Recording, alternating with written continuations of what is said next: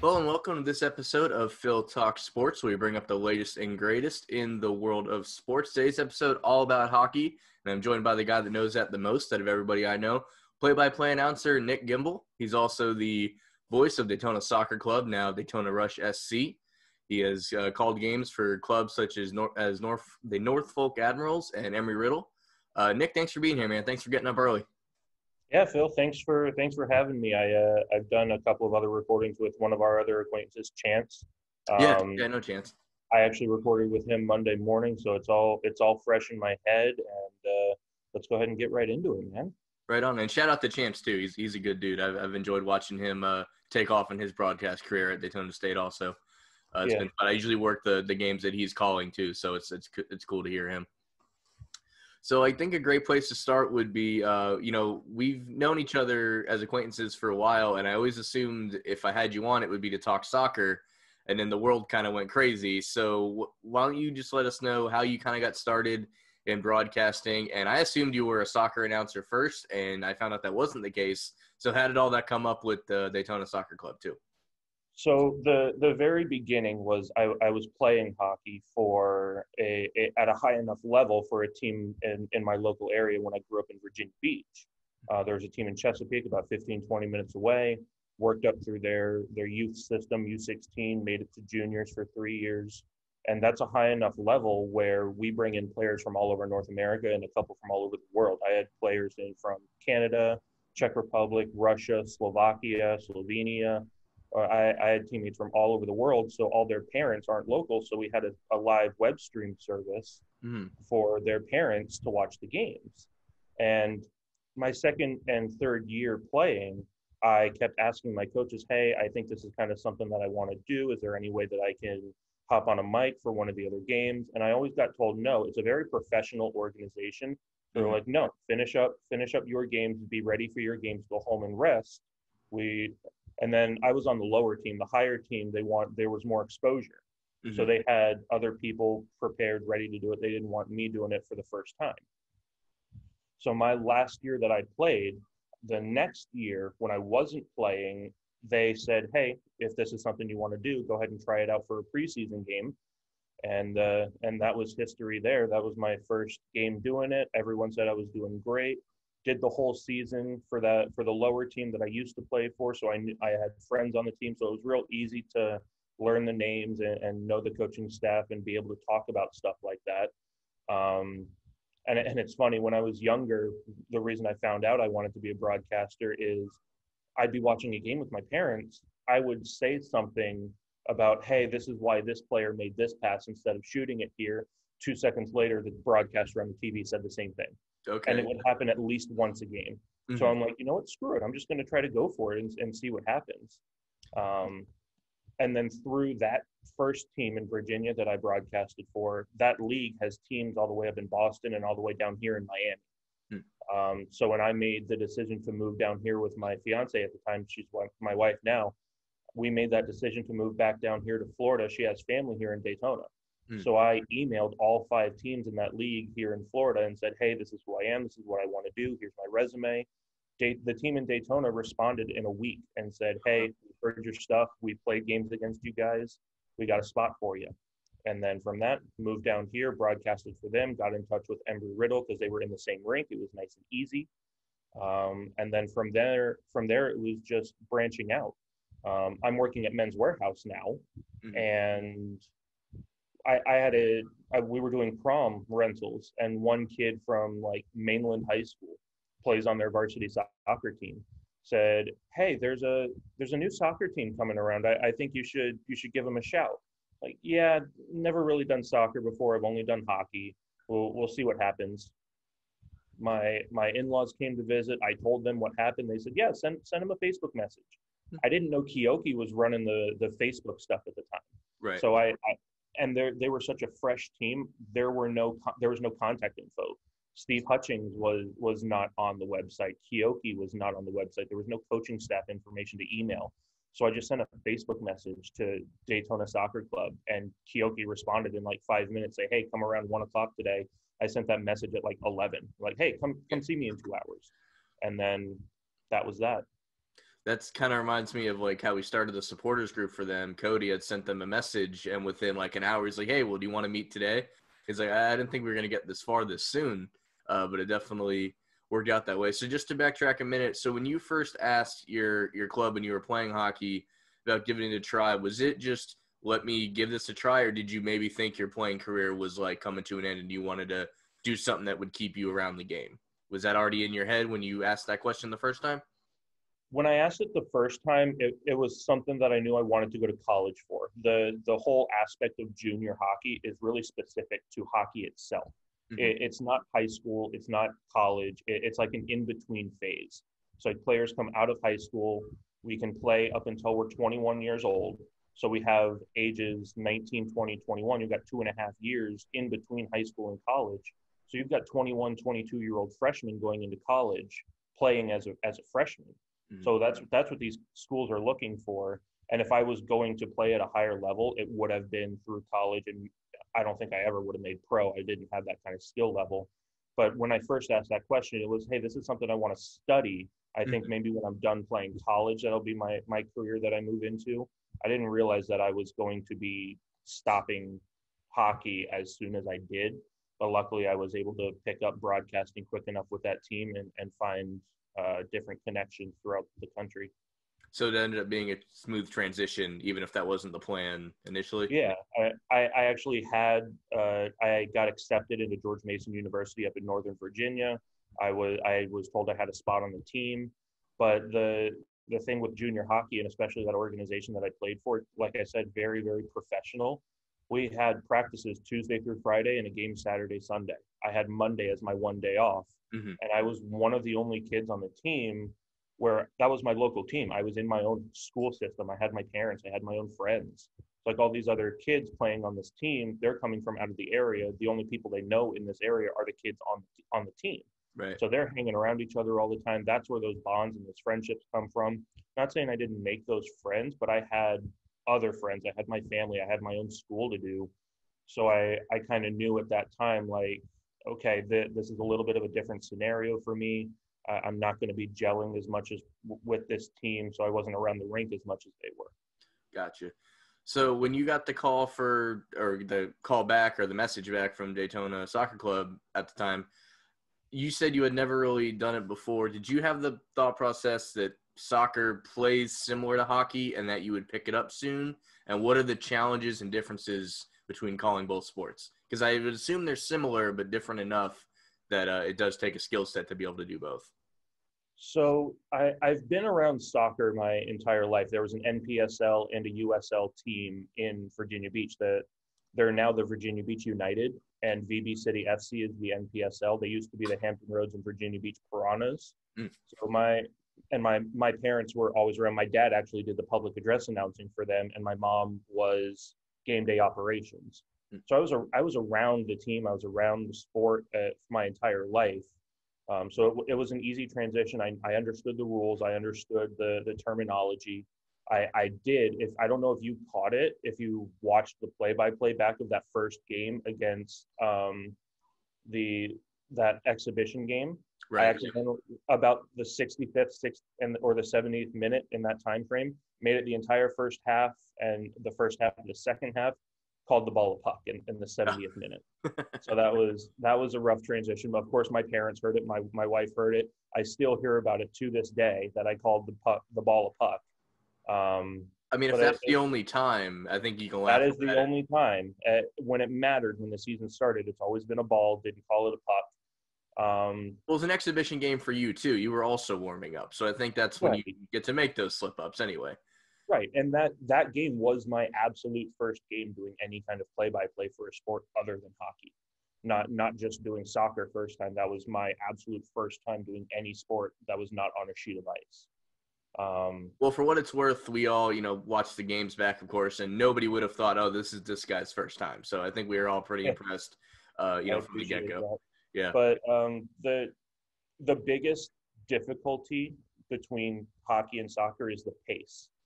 Um, with with hockey, if if you listen to any of my calls, I like to always be talking. I don't want there to be dead air in mm-hmm. any point of the game because there's always something happening. Mm-hmm. The there's a player always skating up the ice. There's always passes happening. It's a smaller confined area. There's boards. There's more physicality. It's it's the fastest game out there, in my opinion. But for soccer, and especially as we have the MLS's back tournament, I've been watching that a whole lot more. Watching Orlando City go on their run, I, I've noticed that there's a lot more into it about letting the play speak for itself. Yeah. There, there's a lot of dead air when these professional broadcasters are doing it for MLS, Premier League, and, and over in Europe. A, a, whole lot of dead air, letting, if there is a crowd, letting the chance of the crowd um, have their own voice, let the let the pace of play dictate itself.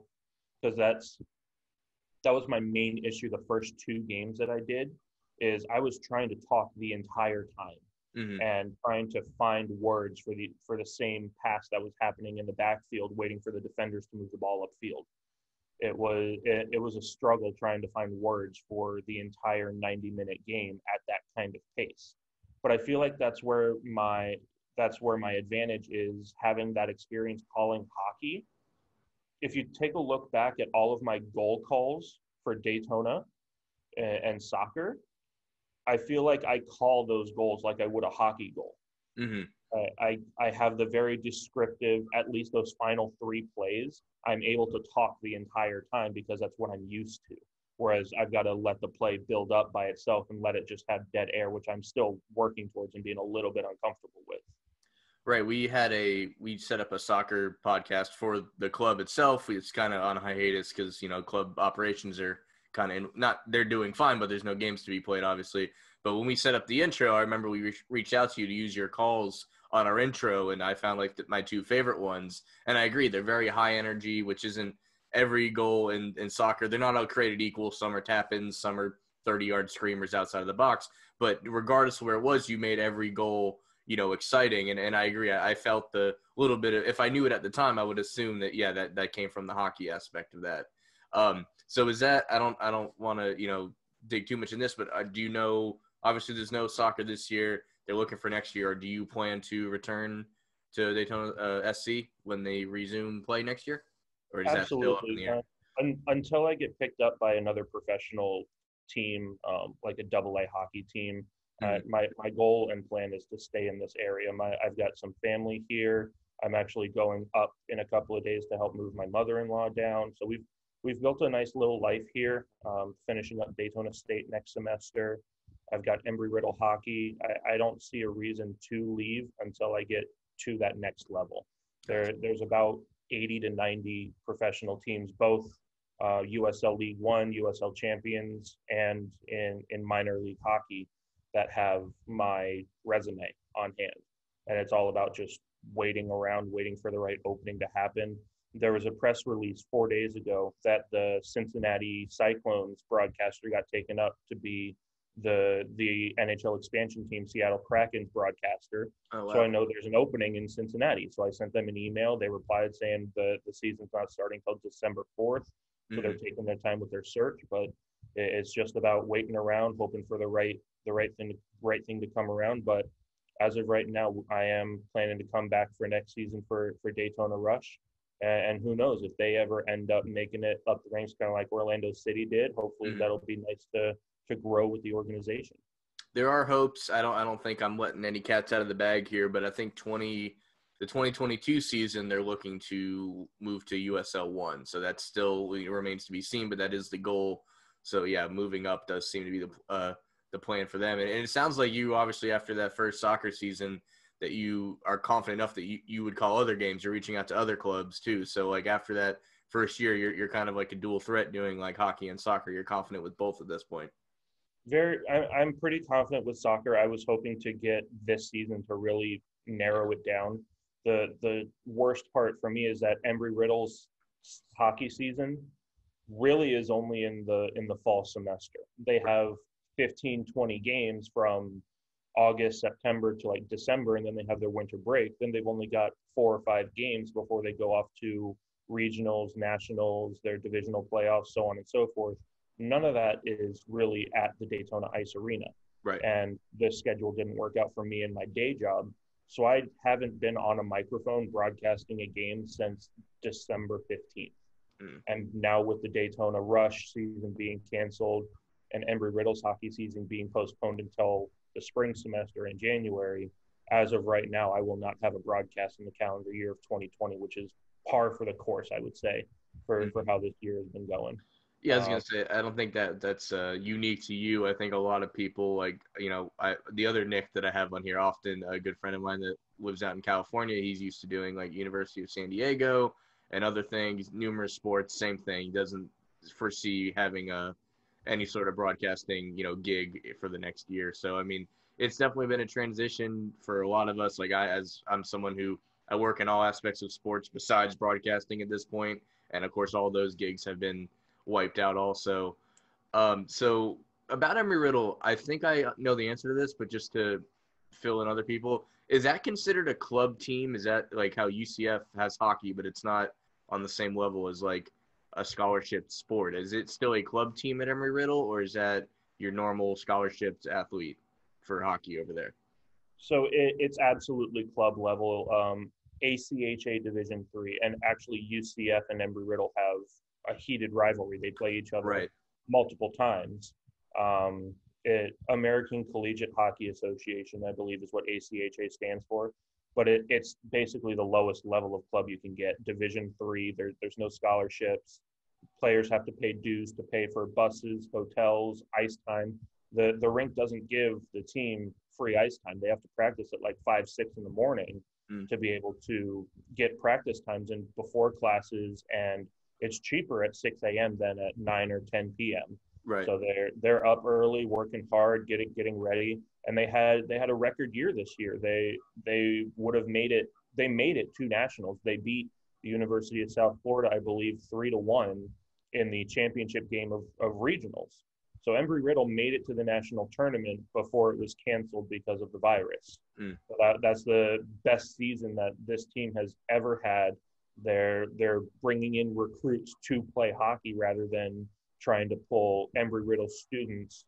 Hey, you want to you want to try to play some ice hockey with us? Yeah, they they were bringing in freshman rookies from Texas, from California, from Wisconsin, from New Jersey that are stud players, and it's all because they've they've had the success last year and now this year. They're going to have a, a pretty good team coming up in in January.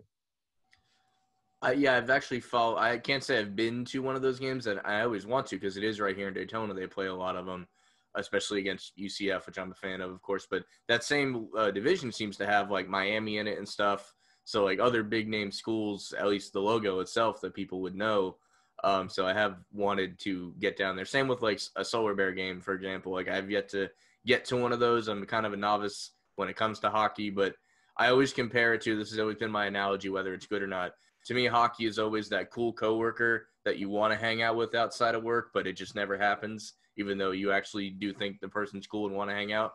I usually watch like playoffs and stuff. I think you get that from a lot of people. Same with baseball, you know, heats up in the playoffs. But I've been loving the NHL since it's returned here in the bubble. What have been your thoughts uh, so far as the presentation, the level of play? We had a five overtime game last night with Tampa Bay getting the win. Um, so, have you felt about the NHL since it's returned? I I might be a little bit biased in saying this, but I, I think the NHL has been second to none in its return to play.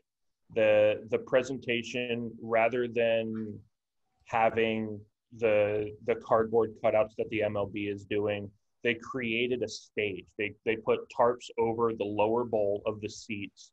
They created five extra jumbotrons so that way when when play is happening at stoppages, there's extra presentation boards for cameras to pan to and, and, there's different videos and different graphics playing. And the the team the toronto and edmonton hub cities are really doing a good job of making the teams feel at home. The each team was allowed to bring three or four sound bites for specific scenarios. If, if you watch a game every single time a team scores there's their specific goal horn the the lightning coils, the Tesla coils for the Tampa Bay Lightning play every single time that they score. Mm-hmm. They they have their goal song playing after they score, um, and they're it, it's so safe. Since since a week before teams went to the bubble, they've done probably 3,000, 3,500 tests, zero positive cases. Yeah. Which which is the reason that both the NBA and the NHL are successful, and that's why the the MLS was successful up until last night. Right. They they finished there. I believe their season's going to start in a couple of days here. Yeah, I think it's the this weekend essentially. So they give Some, a few days to like get back that. home. Yeah. Um, but the the level of play has not dropped at all. If anything, it's been more competitive than past seasons because everyone's had the three months to reset. All these teams that had star in star players get season-ending injuries had a chance to recover, recuperate, heal up, and now every single team has a stacked roster uh, of their best players. And we saw that with Chicago knocking off Edmonton, and we saw that with Montreal knocking off Pittsburgh. Right. The number five seed out of the Western and Eastern Conference, technically the number one seed in the qualifying round on both sides, got eliminated because they didn't take Montreal or Chicago seriously. And I don't know how you can not take Chicago seriously when you've got Jonathan Toews, Patrick Kane, Duncan Keith, Brent Seabrook, and Corey Crawford. They, they've all won three Stanley Cups right. together. Yeah, as they, long as that core core is together. There. Yeah, as long as the core's together, you can't really take a group like that lightly. And then, did you catch any of that five overtime game yesterday? I was watching the MLS Cup final, but I was also keeping tabs on that at the time. So it, it was a three o'clock start time. I didn't get off work till seven. I was kind of watching the score a little bit. Mm-hmm. I saw that it, it, was tied up a little bit eh, going into the third period and going into overtime. Okay, overtime. This will be over soon. Sure. Okay, second overtime. This game's getting a little long. Okay, still in the, still in overtime. I'll watch it on my way home. Start of third overtime. I'm like, I wonder if Boston and Carolina are going to get to play because that's the other specific thing that's happening this year. Right. Is that you've only got one sheet of ice to work with. Yeah, on each. It, on each it's not like yeah, it, it's kind of like how the MLS's back tournament is, where they only had that one game pitch. Mm-hmm. All, all the cameras were set up around that one set of field. Mm-hmm. So if a game ran late, which it very rarely does in soccer, um, but for for playoffs in hockey, you go until there's a winner. Yeah. And we saw that last night. That I, it was a six and a half hour game. I believe it ended at nine twenty five with a three o'clock puck drop. Yeah, and it was and it was all on a broken play. I mean, you had these goaltenders play four and a half periods without giving up a goal, and then a shot from the blue line by Tampa hit one of the Columbus players up high near the face, stunned him, fell right on the stick of their star player Nikita Kucherov, and he fired it, beating Korpisalo over over the shoulder, stunned him, the goaltender. He wasn't prepared for it, right. but that's the kind of bounces you need to win hockey games, let alone five overtimes each overtime period, I assume it's not the same as like a normal period length, right? Or or is it? It's it's the exact same. The it's a twenty minute period. So they There's essentially no, played two full games yesterday. Yeah, they, they played yeah. two and a half full games. Um, so what what hurts for the goaltenders is they don't get credit for a shutout like they normally would for not letting up a goal in three periods. Right. But they two to two at the after after three periods, stayed two to two after six, and then or after yeah, in that fifth overtime, they because you've got one, two, three, four, five overtime. So in that in that eighth period of play, you're and the the presentation of the NHL again second to none. They've got all these video boards, like I said. They're they're thanking their fans in the stands, and someone's got dad jokes because they panned to four industrial sized fans in the crowd. Um, and then someone put up on the video board, we apologize if you had other plans tonight, still overtime, little little jokes here and there just to make the game more human, in my I, opinion. I saw Rather, one a lot of places like, you know, please leave safely and clean up your area. They did that, but it was please get yeah. safely off your couch and clean up your living room. I thought that was the, the wave is strictly prohibited at this game, stuff like that. So yeah. there, in my opinion, that makes it more human, trying to add a level of humor in mm-hmm. these kind of tense situations because you're uh, kind of like how you said you'll turn on a game if it's playoffs but this early in playoffs it's it's really just hockey specific fans and team specific fans that are watching games like Tampa and Columbus. Right. You live in Florida, so we're watching the Tampa Bay Lightning play. So right, exactly. with with that, you probably wouldn't put on Colorado versus Arizona like I would. I'm, I'm a fan of the Colorado Avalanche. Like I've always I, considered, I, am yeah. a default like I'm a default Flyers fan just because I am an Eagles fan or this side Eagles fan and Phillies fan. So I always kind of went with them. I do have a soft spot for the Islanders. My entire family's from Long Island, so I do tend to watch them. And then Tampa. So there, there's reasons you watch who you watch, but rarely do you just put on a random game. Whereas like in the NFL, we'll watch Cleveland versus the Jets just because it's on, because that's how people view football. If football's on, they're watching. Things like baseball, things like hockey, it's definitely more regionalized. You'll watch your team, maybe you have a secondary team, but usually this early on, this is you know what you would do. But like you said, everyone's kind of eating up everything because we finally have sports back. And what's what's interesting for me, from where I grew up in in Virginia Beach, right? Uh, it's like ten miles away from Norfolk, the biggest military installation in. Yeah, in, had a best friend from high school. All, all five branches, all five branches of military supported in in that one Hampton Roads area. So we we have a minor league hockey team, the Norfolk Admirals, which you mentioned that I broadcasted six or seven games for as a fill-in basis. Mm-hmm. That's where I got my start um, professionally, doing those six games down here in, in Florida back in 2019. Um, but we had um, that minor league team at the time was one level below the NHL in the American Hockey League. They were a feeder system for the Chicago Blackhawks so teams that I just mentioned, like Chicago and Tampa, Duncan Keith, Brent Seabrook, Corey Crawford, all of them, I have their minor league rookie cards because mm-hmm. they played for my team. I have pictures with Dustin Byfuglien, the star for the Winnipeg Jets. Um, Craig Anderson, the goaltender for the Ottawa Senators. He played for the Norfolk Admirals. I have pictures with him from when I was five, six, seven years old. Wow. And with, with Tampa, Jon Cooper, the head coach, Tyler Johnson, Alex Killorn, um, play, players like that that were playing for the Norfolk Admirals when they were affiliated with Tampa Bay. They and I think they mentioned it on the on the broadcast last night where the Norfolk Admirals in 2011 2012 when they won the championship when they won the Calder Cup they had the 28 consecutive wins they they broke a North American professional hockey record not just the American Hockey League, but in all of North American professional hockey, that is the longest active winning streak. And I was able to watch those types of players play at that minor league level, get called up to, to Tampa Bay. And so, especially living here now, going to some Lightning games, I have a soft spot for the Lightning, soft spot for, for Chicago.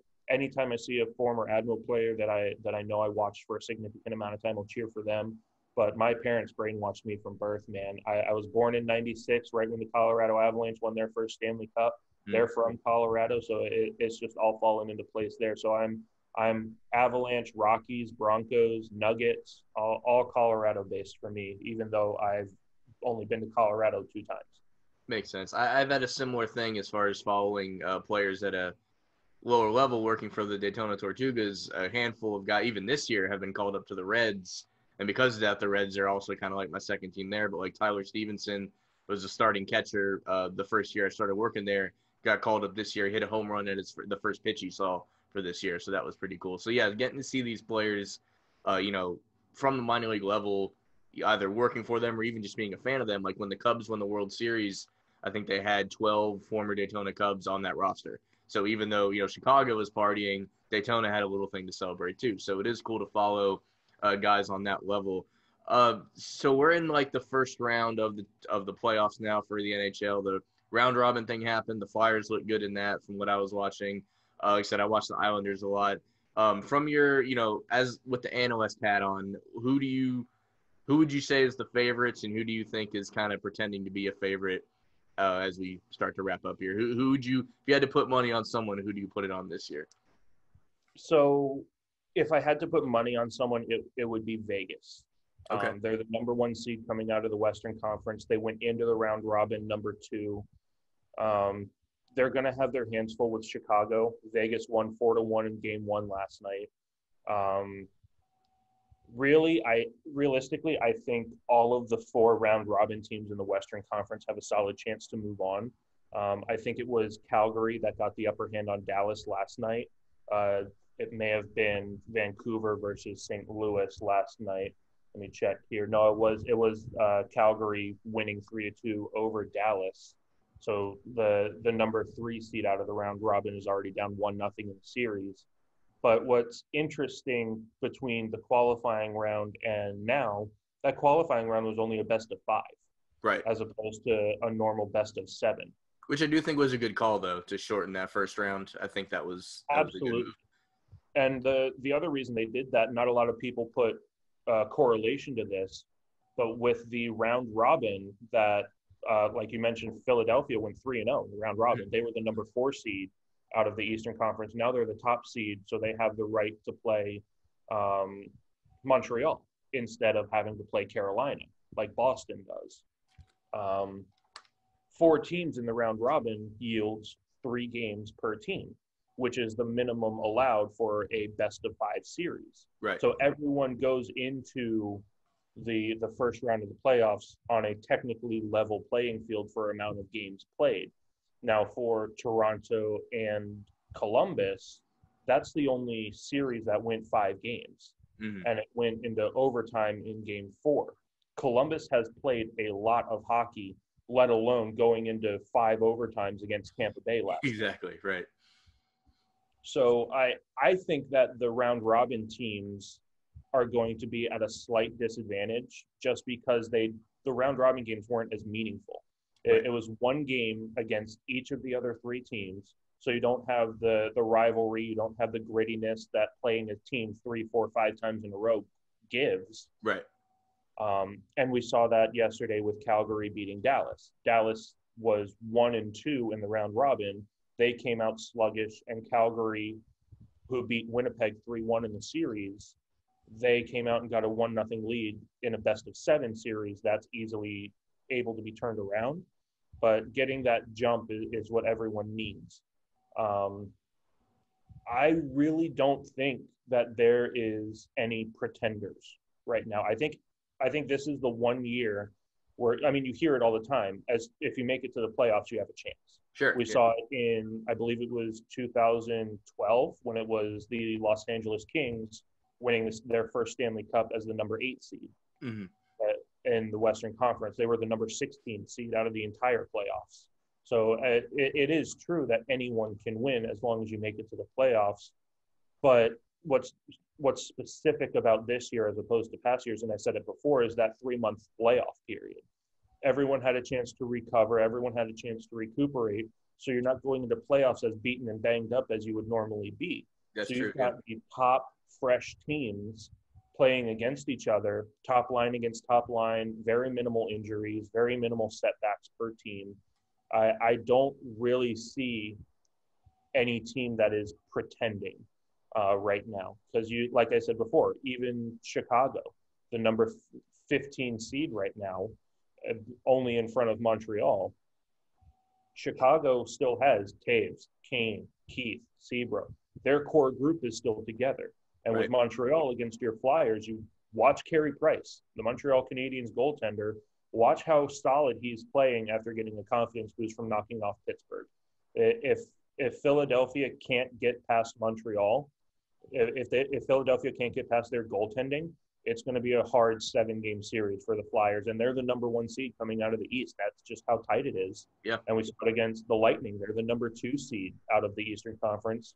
Columbus. They technically they should be the most tired team out there playing five games instead of four or three like everybody else. They were able to hold Tampa to a five overtime, like we keep saying over and over again. But it's worth bringing up to to keep a team like the Tampa Bay Lightning in check like that. So I, I seriously think that this is anyone's year, but the the style of play that Vegas plays, the the and just the Western Conference in general, if you look at the Eastern Conference and, and even the Flyers, there's no more Broad Street bullies. Yeah. There, there's not as much physicality as there used to be in the Eastern Conference. The big bad Bruins aren't so big and bad anymore.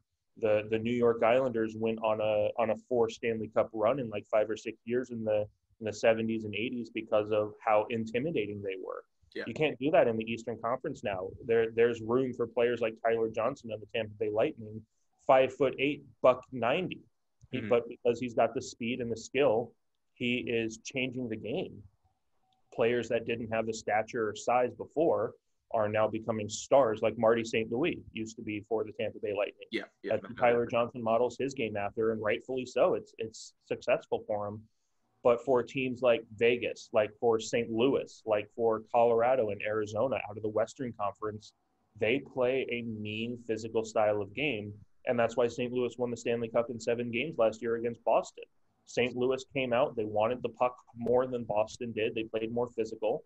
And that's I, I that's why I see Vegas taking it all the way. They they play that need to win physical style of game that that you have to play to make it through and get 16 wins to, to win the Stanley Cup. And it all comes from really being an expansion team as well. Right. Because at at that time in 2018, or I believe it was 2017 when the when the expansion draft happened for Vegas, and we're going to see it again next year for Seattle. Seattle, yep. The the players get an immediate bonding experience being, hey, my team didn't want me anymore. That kind of sucks oh, this brand new team wants me, that gives me a really good feeling. And yeah. then, of, of course, I, I, mentioned this on Chance's broadcast or a podcast too. The the horrible tragedy that happened October first, twenty seventeen, in Vegas. It, it, the the horrible mass shooting that happened out there. I don't think Vegas would have been success as successful as they were if that didn't happen because of how they came together to help rebuild the community the Der- Deryk Engelland, the captain for Vegas, homegrown from Nevada, from Las Vegas, mm-hmm. was able to come out, really bring the community together, was really solid and able to give a nice little pregame ceremony speech. And Vegas went on a tear in their first 15, 20 games, made it all the way to the finals against the Capitals. So I, I think the same thing is going to happen with Seattle next year or in two years as well mm. that if they follow the same model that Vegas had, we're going to have two very strong extra teams in Vegas and Seattle coming out of the Western Conference. Because we have seen other, even in other sports, like a tragedy happen and the team kind of rally the community. I think of like the Saints after Katrina and things like that, of course. Um, but you mentioned, I think the best thing about the NHL right now is because everybody's rested, every team is at full strength. There's really no nagging injuries because everyone had the three months off. Uh, you're seeing the same thing with the NBA, other than the player, the handful of players that opted out, everyone, you know, it's it's full guns ablazing. So even if one's a one seed and one's a five seed, like you're at least at full strength. So of course everybody gets, um, you know, gets a, a fighting chance because you are at full strength. One last question as we uh, get out of here: Are you familiar with the show Letterkenny? I am. Yes. Okay. How much of that is true when it comes to hockey players? I know that the creators of the show are former hockey players at like a junior level, like you've discussed. Is it is it accurate on any description? It, it is and it isn't. Obvi- obviously, it's portrayed to an extra extent extent sure. for the humor, mm-hmm. but the the chewing tobacco, the dip, the the the lingo, the the jargon that Letterkenny uses, and it, it, it is accurate to an extent. I, I can't say that it's inaccurate to mm-hmm it, it's so accurate to that extent. I can't say it's inaccurate. It, it is overplayed a little bit. Sure. But there are times where certain quotes will come out. The the especially Jonesy, the the character Jonesy. Yeah. The the kind the chirping that they do back and forth happens all the time. It's it's hilarious and it, it is overplayed to an extent, but not to a point where it's wrong. And do, it, you, it, do you think it, it's gotten more in real hockey, ironically, because of the show? because I could see that being the case.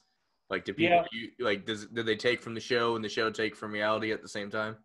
Yeah, so a lot of shows are going to play off of real life events.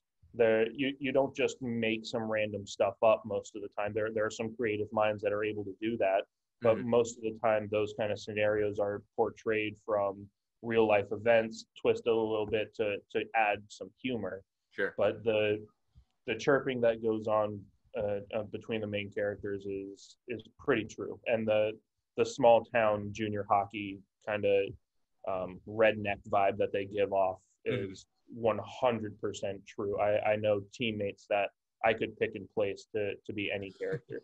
well, that, I, I that's exactly the answer I wanted. I knew it wasn't going to be like a one for one, but I'm glad it is definitely you know accurate as far as the world of hockey. Well, Nick, I can't thank you enough for getting up early and, and doing this. As we get out of here, let everyone know what's your social media. How can we keep tabs on you as you grow your career? So Twitter and Facebook are the two that I'm most on when it comes to my broadcasting. That's where I have the, the most following. I've, I've mainly got just closer friends on Instagram. I try like growing up in Virginia Beach, I tend not to bore them with with the hockey stuff, but mm-hmm. I've created the Twitter account to be mainly just my my hockey, and that's what I'm going to use to build my profession. But search search my name on YouTube. I I don't know if you saw it because I don't think Kyoki ever posted it or Daytona Rush ever posted it. But go check it out. Just search my name on YouTube, and you'll see my demo reel and a little hype video that I made for for Daytona Rush. I actually I, found it through your YouTube channel at some point, so it is there. Yeah. yeah. So the search me on there, and uh, hopefully the the connections with the professional teams up up in the central United States with the East Coast Hockey League and all and all that. Hopefully you'll see me at some point, professional hockey, professional soccer, whatever it may be. Well, yeah, we hope to see you on those levels, and in the meantime, hopefully we get at least another season uh, with you here for uh, Daytona Rush. That'd be that'd be good to see too. Uh, thank you guys for watching. As always, follow me on Twitter at Phil Talk Sports. Let us know what you thought of this episode. Subscribe on YouTube or your podcast platform of choice. Thank you guys for watching. See you next time.